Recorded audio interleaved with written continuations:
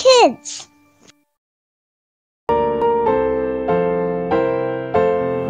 Ini nanti taruh di folder yang hijau. Ini. Eh, halo sobat Impact Kids. Seneng banget deh hari ini bisa ketemu sama kalian lagi. Hari ini aku lagi beresin dokumen-dokumen penting sobat Impact Kids. Nih lihat deh. Di foldernya berat banget karena isi dokumennya sangat banyak dalam sini. Nah, ini adalah beberapa contoh dari dokumen-dokumen penting yang lagi aku beresin nih Sobat Impact Kids. Aku kasih lihat ya. Yang pertama, ada ijazah atau tanda kelulusan kita dari sekolah. Terusnya ada rapot. Nah, Sobat Impact Kids yang udah sekolah pasti punya rapot nih. Terusnya ada sertifikat lomba, ada surat keterangan baptisan, terusnya ada paspor, dan masih banyak lagi. Wah, kalau dilihat-lihat ya dokumen di atas meja, ternyata banyak juga ya Sobat Impact Kids dokumen-dokumen penting yang mencatat perjalanan hidup kita dari kita masih bayi sampai kita dewasa. Nah, dari sekian banyak dokumen-dokumen ini, ternyata ada beberapa dokumen yang sangat-sangat penting yang kita harus jaga baik-baik. Dokumen yang aku maksud itu menjadi bukti nomor satu kalau kita adalah anak dari papa mama kita. Nah, kira-kira Sobat Impact Kids bisa nebak nggak dokumen apa yang aku maksud? Dokumen yang aku maksud adalah akta kelahiran dan kartu keluarga. Nah, jadi dalam akta kelahiran dan kartu keluarga, kita bisa melihat bahwa kita dilahirkan dan merupakan anak dari papa mama kita. Penting banget kan? Nah, coba deh Sobat Impact sekali-sekali minta tolong papa mama untuk menunjukkan akta kelahiran atau kartu keluarga kalian. Kelahiran adalah hal yang sangat penting yang terjadi dalam hidup seseorang karena hal itu menandakan awal dari kehidupannya di dunia. Tapi dalam kehidupan orang percaya ada salah satu kejadian yang sangat penting lagi Sobat Impact Kids yaitu kelahiran kembali dalam roh di dalam Tuhan. Kelahiran kembali? Maksudnya kita kembali ke perut mama terus dilahirin lagi gitu? Ya enggak lah Sobat Impact Kids, mana bisa kita masuk ke dalam perut mama kita lagi kan? Jadi dalam Yohanes 3, Tuhan Yesus menyampaikan bahwa jika seseorang tidak dilahirkan dalam air dan roh, maka mereka tidak dapat masuk ke dalam kerajaan Allah. Terus dilahirin dari air dan roh maksudnya apa? Dilahirkan dari air dan roh itu maksudnya bahwa hidup kita diselamatkan dari maut oleh karena pengorbanan Kristus di kayu salib dan hidup kita terus-menerus diperbaharui oleh Roh Kudus. Nah, kelahiran kedua itu tidak bisa terjadi kalau kita nggak punya iman dalam Tuhan Yesus Kristus atau tidak percaya kepadanya sebagai satu-satunya Tuhan dan Juru Selamat Sobat Impact Kids.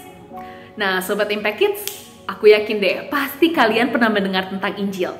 Bagaimana semua manusia di seluruh dunia, termasuk kalian dan aku berdosa. Sama sekali nggak layak deh di hadapan Allah dan gak bisa menolong diri sendiri. Dan tujuan akhir hidup kita adalah kehidupan selama-lamanya di neraka. Aduh. Tapi karena begitu besar kasih Allah akan dunia ini, akan kalian dan aku, sehingga ia rela mengaruniakan anaknya yang tunggal, yang satu-satunya yaitu Tuhan Yesus Kristus untuk menggantikan kita di kayu salib dan menyelamatkan kita dari maut, dari dosa, dan bangkit pada hari yang ketiga. Sehingga setiap orang yang percaya kepadanya tidak akan binasa, melainkan beroleh hidup yang kekal bersama Allah Bapa di surga.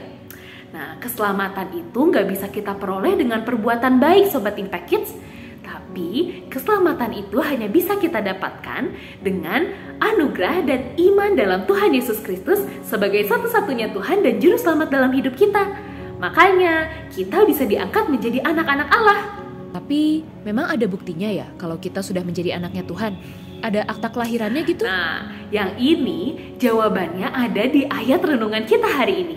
Yuk Sobat Impact Kids, kita baca dan hafalkan bareng-bareng ayat renungan kita yang diambil dari Roma 10 ayat 9 sampai 10. Roma 10 ayat 9 sampai 10.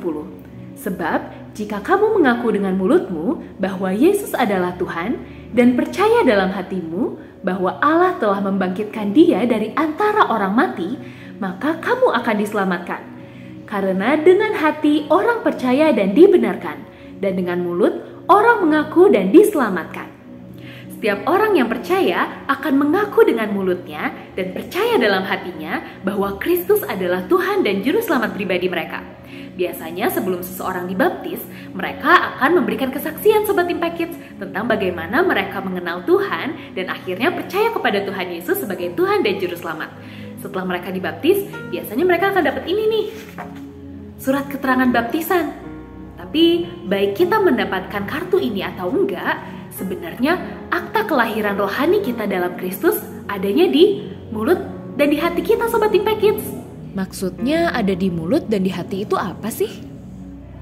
Artinya, kita nggak bakal malu untuk menyampaikan kepada banyak orang bahwa kita diselamatkan hanya oleh anugerah dalam pengorbanan Tuhan Yesus di kayu salib. Dan kita mau selalu mengandalkan dan percaya kepadanya dalam kehidupan kita. Nah, sama kayak kartu keluarga atau akta kelahiran Sobat Impact Kids. Kalau kita beriman dalam Tuhan, pasti akan ada bukti yang terlihat dalam kehidupan kita. Misalnya, dalam perkataan kita, kita pasti pengen mengatakan hal-hal yang menyenangkan hati Tuhan dan yang membangun, bukan mengejek atau kata-kata kotor atau hal-hal yang menjelekkan orang lain. Dalam perilaku kita, kita pasti pengen taat sama Tuhan. Misalnya, baca firman Tuhan, berdoa, taat sama orang tua, menyayangi kakak adik dan teman-teman kita, dan masih banyak lagi.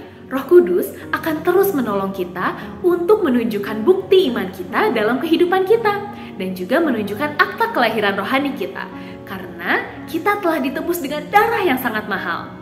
Yuk Sobat Impact Kids kita berdoa.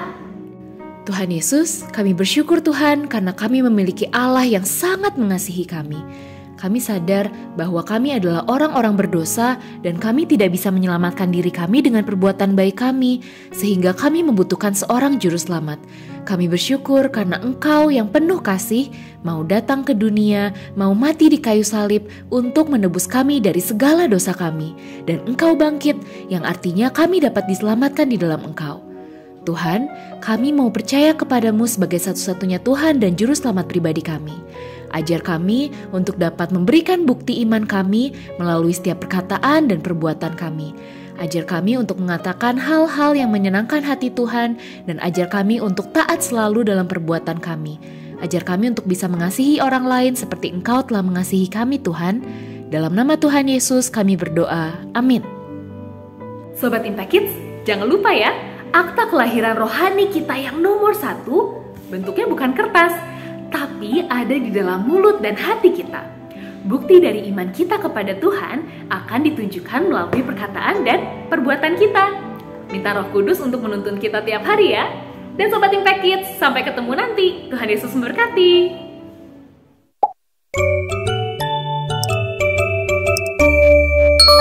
Impact Kids